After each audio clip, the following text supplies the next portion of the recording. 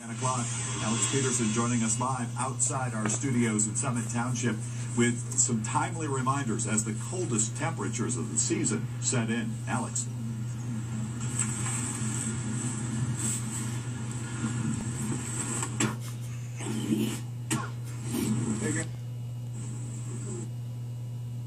All right, we're obviously having a little difficulty there. We can tell you that the wind chill right now, about 8 degrees below zero.